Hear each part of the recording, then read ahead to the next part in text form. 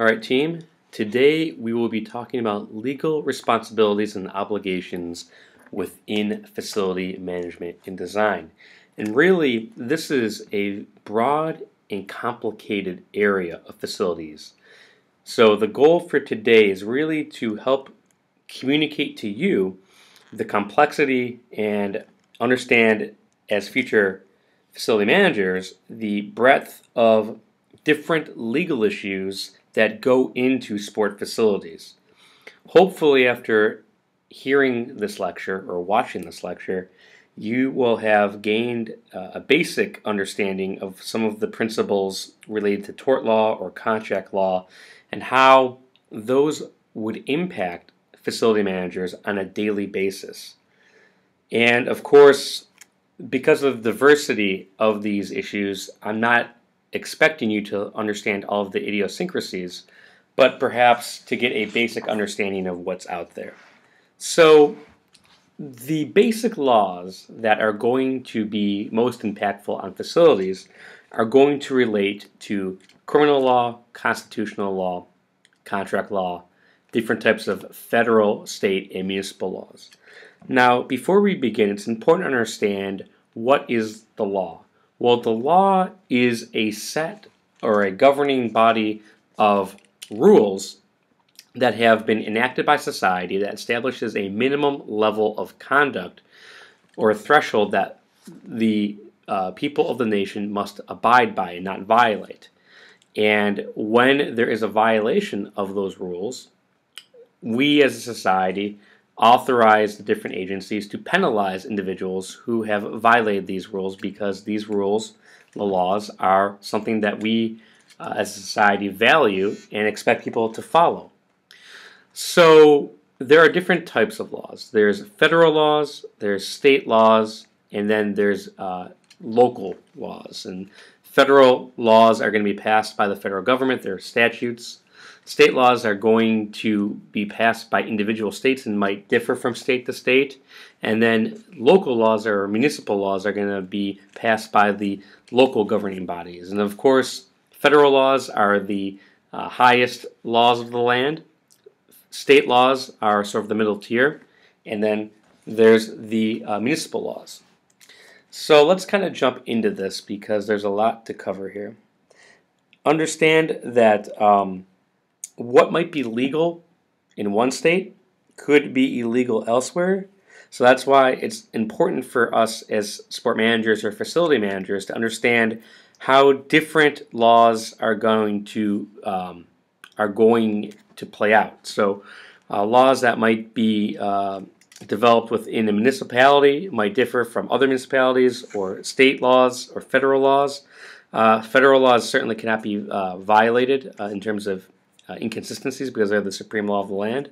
But um, at the at the minimum, it's under, it's important to also understand that uh, in addition to statutes, which I just talked about, uh, federal, state, and local laws, there's what's called common law, and common law is judge-made law that's passed by the court that's created by the courts, and here it's going to uh, really apply mostly in contract law and tort law, but we'll get to that. So, what is tort law? Well, I'm glad you asked. Tort law really refers to uh, a broad set of claims where someone commits a wrongful act against another individual, and the law is going to enact a penalty to penalize that individual or entity that violates the law, and then also hopefully provide a remedy to an individual who has been injured by that wrongful conduct. And in, tort law is divided between intentional torts and unintentional torts. So intentional torts are some sort of civil wrong. That's it's not a criminal wrong, but instead of civil wrong, where someone intentionally engages in an act that causes this wrongful conduct. So assault and battery, uh, brawls in the stands during the um, during a sporting event. That is most likely going to bring up assault and battery. Or defamation, some sort of statement uh, that is actually uh, untruthful that ends up injuring an individual. That would be defamatory. Unintentional torts are a little bit different. Uh, that's going to be some sort of conduct that injures an individual, but it's done uh, in a way that's uh, not done with uh, that willful intent. And the most common intentional tort, and one of the most important unintentional torts for uh, the purposes of this class, is negligence. And negligence is conduct that falls below a duty of care where um, society has imposed that duty of care and that the individual has been injured as a direct consequence of that violation of the duty of care. So, with negligence, you're going to have duty, breach, proximate causation, and damages. Duty refers to um, a, a, a relationship has been formed between the parties. So it could be coach and player, or could could be um, that someone voluntarily um, chooses to uh, assume that duty, such as a, um, a passerby, or a player in a game, a pitcher and a catcher, or a pitcher and a batter. There's a duty of care that's owed, and that duty of care is usually to act as a reasonably prudent person. Uh, or not engage in, in, not subject that other individual to a force uh, a, a unreasonable risk of harm. And then there's also the potential to create duty through statutes. Uh, the legislature could pass a law that says all facilities, uh, all gym facilities must um, have AEDs, Uh, automatic electronic defibrillators. And in that situation, there's a duty by that facility that resides in that state to have an AED. So the duty is created by uh, various standards and to act as a reasonably prudent facility administrator for the purposes of this course. And the facility must protect people from unreasonable and known risks of harm. Now, here on the lower right, we've got uh, a picture of a mascot uh, carrying a hot dog cannon. And so, if a mascot is carrying a hot dog cannon, um, it's probably foreseeable that the it's going to be shooting projectiles, and that projectile could maybe hit someone in the face. And the facility really owes a duty to the person who paid the ticket to protect them from a foreseeable risk of harm, which is them getting hit in the face. Now, a breach of the duty of care would occur if the facility um, did not protect them from that foreseeable risk of harm. It's either an act or an omission that uh, leads to that breach of the duty of care.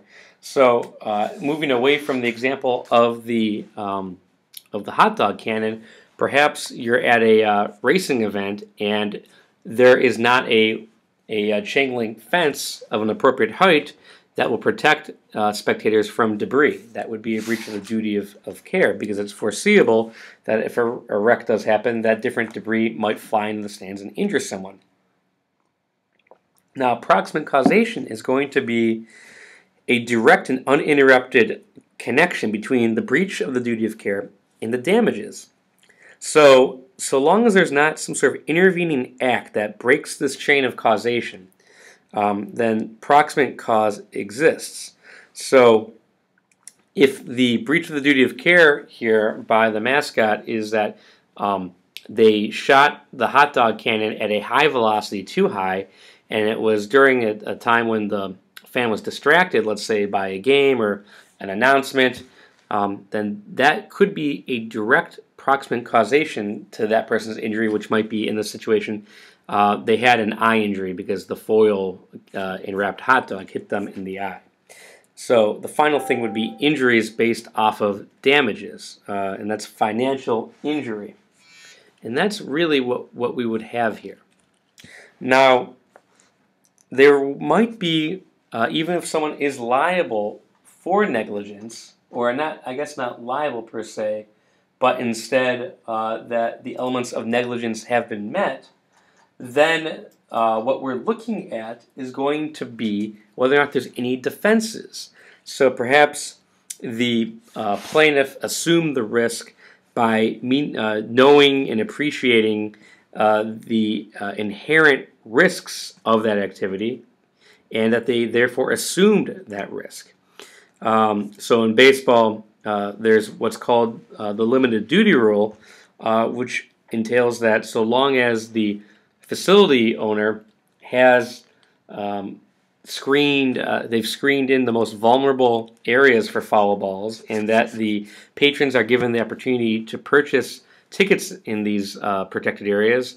That an individual will be barred um, from, uh, or that li- there would be no liability. There would be de- it would be a defense against liability. Now that's not definitive. Um, different states might have different um, uh, common law on on the limited duty rule, but if a facility here, the Royals could prove that the individual assumed the risk and knowingly appreciated the risk of going to a ball game and being hit by a hot dog uh, out of a hot dog cannon, then they might have assumed the risk, although that might be more difficult to prove than, say, a foul ball. In addition, um, immunity could come into play. Immunity is just a defense uh, that it might be used by governmental entities um, that would say that would uh, there'd be a law in the books, a statute that would say that governmental entities are not liable for simple negligence. But perhaps um, the same statute would say gross negligence is not something that immunity is granted to. So that's uh, quickly, quick and dirty for negligence. And of course, negligence is a very common and popular area because of the different um, issues related to premise liability and projectiles going to facilities and sometimes the violent nature of participating in sports. Now, kind of part of the negligence analysis for facility managers and anyone really in sport management is understanding risk management and the finer points of insurance. Risk management really focuses on several issues. One is identifying and then trying to eliminate or reduce risks um, of liability at a facility. And then also, um, it involves trying to look at what sort of best practices or new strategies that can be used to eliminate or reduce the potential for lawsuits. So, really, risk management is about lessening the likelihood of liability uh, caused by injury. And insurance is a major element of risk management, and insurance is just a, a contract. It's a, an agreement between several parties where one party, uh, usually the um, the facility, is paying a premium on a, a monthly basis to the uh, entity, to the insurer, and the insurer is going to um, agree to help pay the cost of legal defense, uh, defending a lawsuit, or perhaps if, if the uh, found liable, uh, paying uh, any sort of award against the facility, but it's a ma- matter of contract. But risk management in this two part process is really helped by the ECT approach. And the ECT approach is just a strategy that's used to implement risk a risk management system. And ECT just refers to the uh, the fact that every element in this list uh, ends with letters ECT. So the first aspect is reflect, and that really is asking what is the purpose of this program? Why are you trying to implement this program? Uh, concerns might be um, the potential um, natural uh, disasters that could uh, injure your patrons or your facility, or um, liability from alcohol, or a litany of things. But really, um, the uh, initial part of the uh, reflection stage is to look at the different concerns uh, from a risk management standpoint that your facility might be subject to. Um, so that is really the first aspect of your uh, ECT process. The second process is deflecting and looking at how can a facility deflect liability onto others. And this is really where insurance comes into play because again, an insurance is this contract between two entities usually, and the insurance company and the, and the facility. And the facility is going to pay a specific amount of money for a specific term to uh, to have specific uh, events or situations covered by this insurance policy. In addition to that, perhaps by a matter of contract, a facility can agree, uh, come to an agreement with someone or an entity that wants to lease the facility premise and say uh, when a certain uh, event occurs, liability is actually with the one renting the facility as opposed to the facility itself, or there could be indemnity um, clauses or um, other uh, clauses that will shift the burden of liability from the facility to the, uh, the facility renter. Of course, there's also uh, things called waivers and releases and assumption of risk agreements, and these all help to move liability from the facility to the third party, the participant perhaps, who signs a waiver saying that they understand the risks of participating in the activity and that they'll not sue a facility. Now, the question is is this document in and of itself legally sufficient for a facility to avoid liability? Well, perhaps that's something we can talk about later uh, offline in, in class. Next would be detect. So detection is really trying to identify the potential issues uh, and then also work with individuals who are knowledgeable in risk management. Um, and this is really going to be um, about spot inspections um, and continuous inspection of the facility so that um, the facility is abiding by its duty of care to identify risks to individuals who come onto the facility who should be protected from foreseeable risks of harm. The next part is going to be inspect and then uh, correct, and that's really, uh, again, identifying your dangerous conditions and correcting any sort of identified hazardous or uh, areas that might have liability. So this is important. And finally, reinspect. Once the, uh, the inspection and repair or correction stage has occurred, um, just merely putting in that work uh, is not going to be enough, but instead that facility and its employees need to continuously reinspect its areas to make sure that the hazard or condition has been resolved and taken care of. And then this process starts all up all over again by the reflection stage to see well what needs to be done or reevaluated to make sure that your facility is going to be free of liability and uh, defects. Now, part of the risk management process might be using a layered approach to your facility risk management uh, protocol. And when I say layering, what I'm talking about is guarding against a foreseeable risk of harm in different ways. So um, perhaps with um, with um, foul balls, a sport facility might, in addition to having uh, uh, signs that warn the spectators uh, of foul balls throughout the concourse, perhaps broadcast uh, warnings throughout in the uh, be between innings have language about foul balls on your um, on your ticket stub, offering protected seating or offering uh, patrons uh, the opportunity to buy seats that are protected by netting as well as unprotected. So again, limit the duty rule. Having ushers and security personnel continuously uh, warn people verbally, and then not having these people take their seats while the game is in play et cetera, et cetera. So this is really uh, the layered approach. In fire safety, there's also um, some um, uh, um, overlapping uh, that can be done. So, for example, have fire extinguishers uh, throughout the facility as well as a fire suppression system, safety signage, uh, the ability to pull uh, fire alarms. So, this is just again another example of overlapping. So we move on from insurance and risk management discussion, and then of course negligence, onto contracts, which is really insur- which is an insurance contract. An insurance contract is a contract.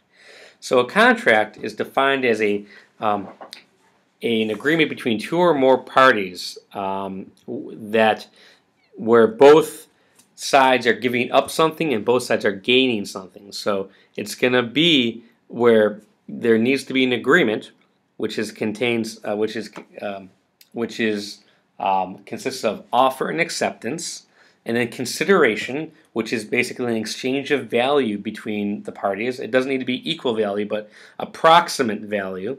Um, and then both sides must have capacity, meaning that someone needs to be uh, of the age of majority, uh, 18 years of age, and not have uh, not um, be someone who lacks sound mind, uh, the ability to appreciate what they're doing and understand what they're doing, and then also they the the contract must be for a legal purpose. So, um, if all four of these steps are met, offer, acceptance, consideration, and then capacity and legality, you will have an actual contract. And once you actually have a contract, the next question is well, what are the obligations of the parties?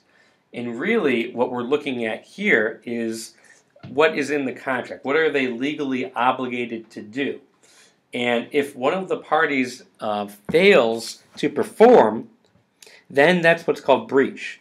So a facility really, uh, if they find themselves where, let's say, there's a sponsorship sponsorship contract, and the um, the company on the other side of the sponsorship contract uh, doesn't pay the money when they're supposed to, then technically that could be a breach, and the facility could have different options. They could ignore the breach and try to settle the dispute. They could actually terminate the contract depending on the materiality of the contract and what's in the language. Uh, and then they could also sue uh, to try to uh, recover whatever they were aggrieved of or what they um, are allowed under the contract. And there's a, a, a, contract in the textbook that I would suggest that you take a look at.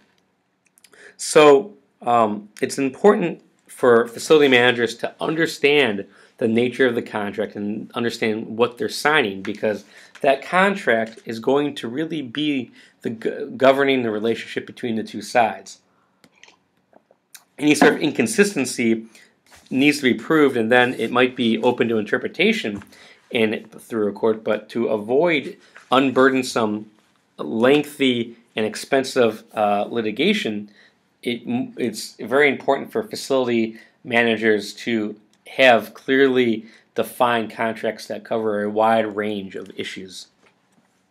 The, uh, the, the chapter then talks about property law, and it makes a distinction between real property and personal property. Real property is any sort of property that's going to be attached to the ground. It's immovable, immovable property.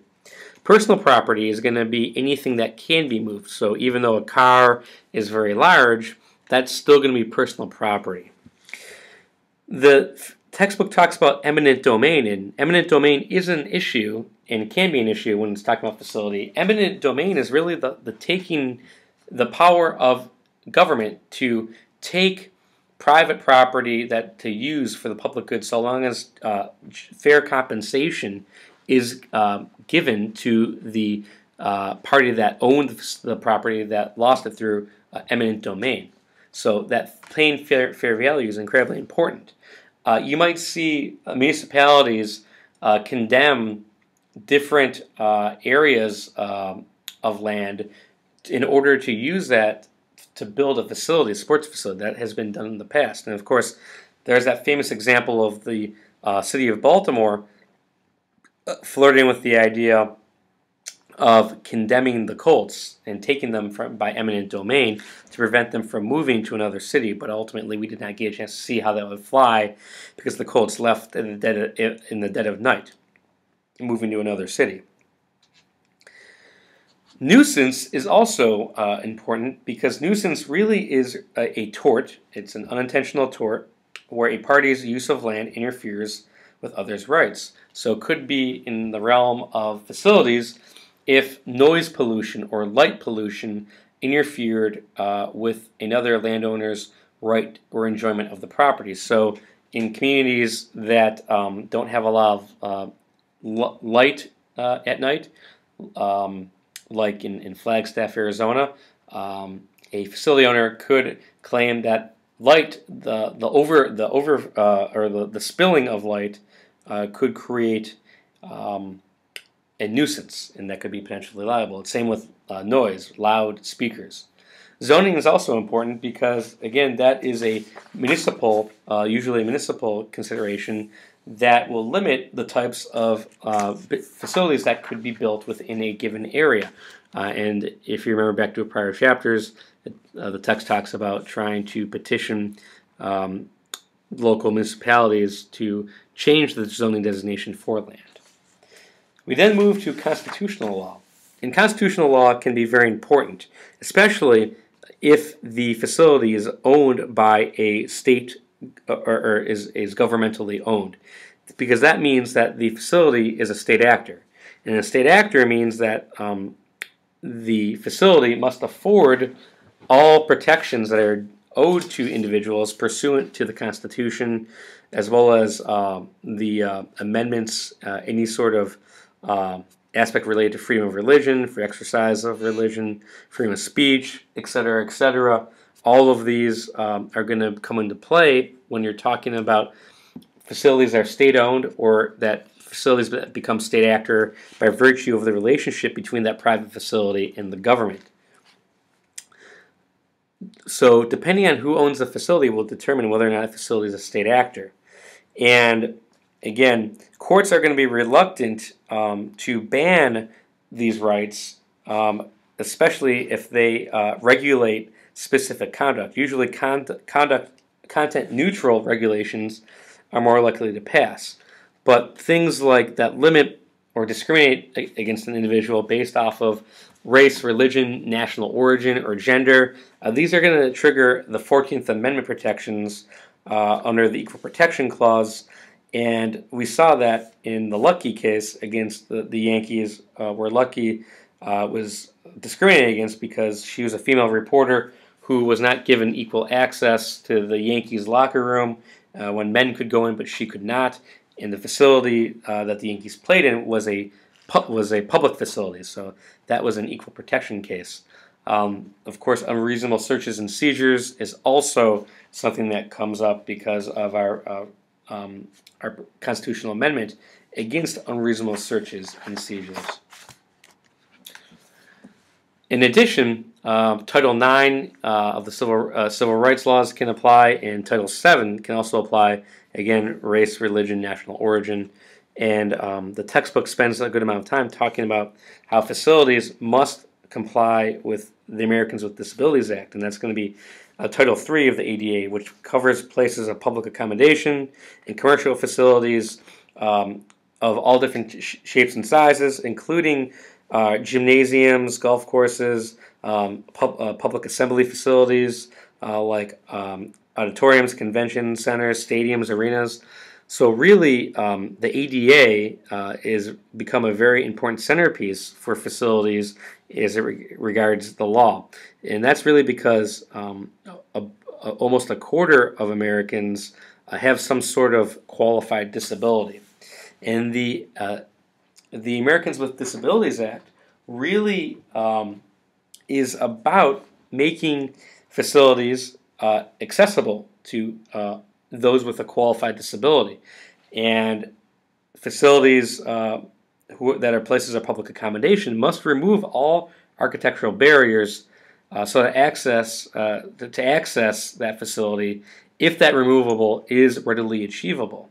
And if it's not, then it becomes an issue and, and that's something that would have to be further explored in the ADA process.